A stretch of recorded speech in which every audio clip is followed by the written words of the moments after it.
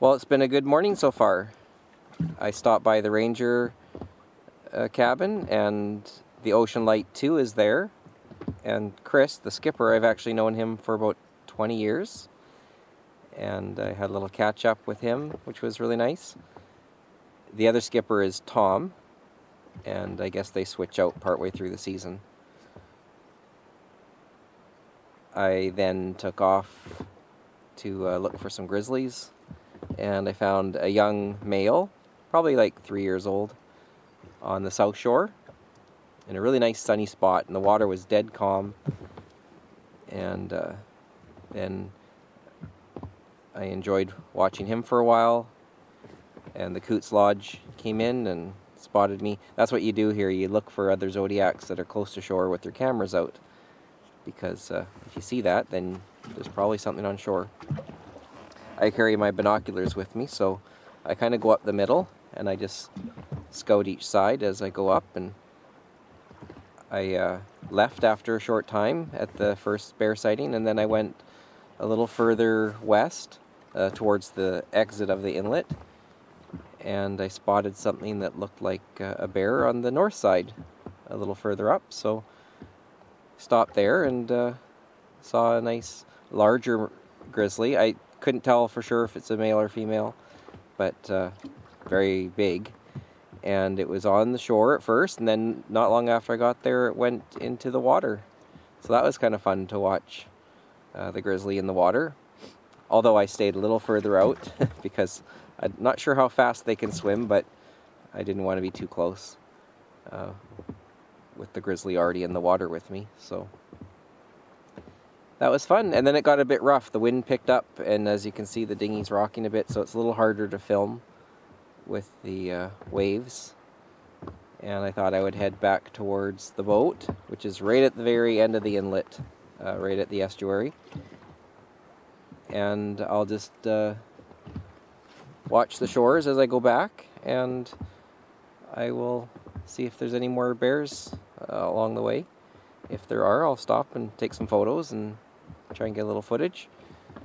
And then I might go for some lunch. It's been a, a busy morning, uh, catching up with old friends and watching grizzlies.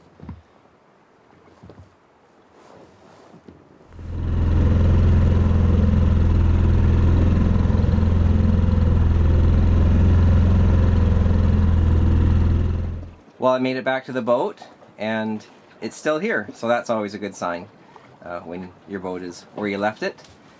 That means the anchor is holding well. And I'm gonna have some lunch and uh, it's just about high tide, so the beaches are kind of uh, small now, so I think I'll uh, relax for a little bit and probably go out in a few hours and uh, see if I can find some more grizzlies.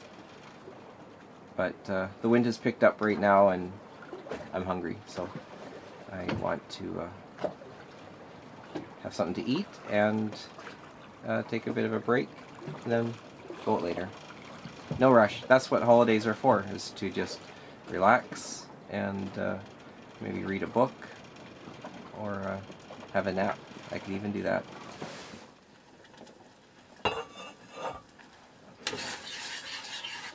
I'm really happy with the new stove that I never had plans to uh, upgrade, but you might remember a while back I uh, swapped out my old stove for this new uh, Dickinson Caribbean.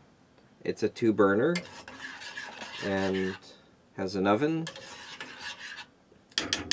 It has that nice cutting board that inserts into the top and uh, one of the features that's such a simple little thing, but it sure makes it nice, is that auto light. I don't have to get the lighter out and hold it and light it. It just, you turn it on, it sparks, and it lights up. And it's just such a little minor thing, but it does make uh, a difference, surprisingly, just in the enjoyment of using the stove.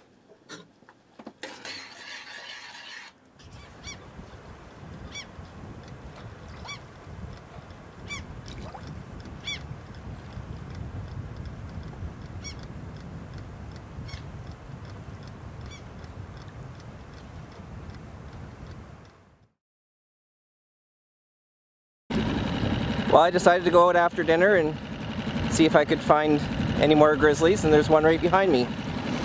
It's a little rough out here, and I think he's in frame. But uh, yeah, I got to see one more before the night is finished. But it'd be sure be nice if this wind died down, then I could do some better footage of him.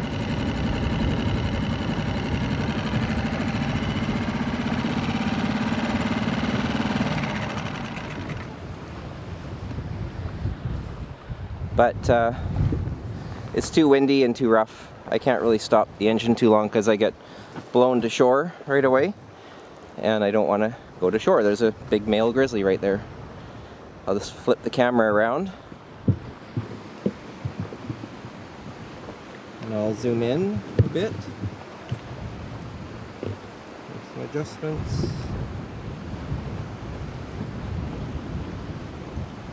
There he is, right on the beach. So, he's pretty close. I should probably start the engine again and get away from the shore.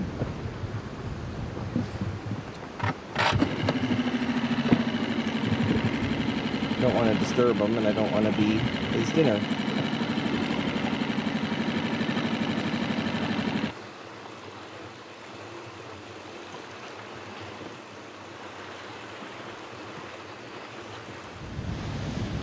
I just can't hold the camera steady enough. So I might just do a few photos of him.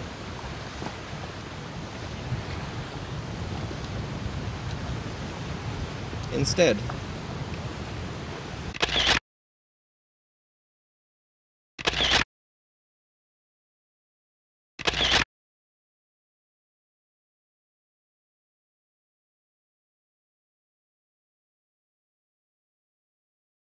Well, I made it back to the boat and I'm a little wetter now than I was when I left because there's a lot of wind around the corner and with the tide ebbing and the wind coming in it's creating all these little standing waves. They're, they're not very big for this boat but for the dinghy they're substantial and I was getting a lot of spray over the front on the way out so I didn't go out as far or down the inlet as far uh, towards the exit, which is where I saw the other bears this morning, because I just would have got too wet. And I'm undecided if I'm going to leave tomorrow. Um, I could stay one more day. I'll have to listen to the weather and see what uh, is happening for Monday because I have to work Tuesday and it will take me about eight or nine hours to get home so I might break it up and do part of the trip tomorrow and then part on Monday. So it's not two one long day, make it two shorter days.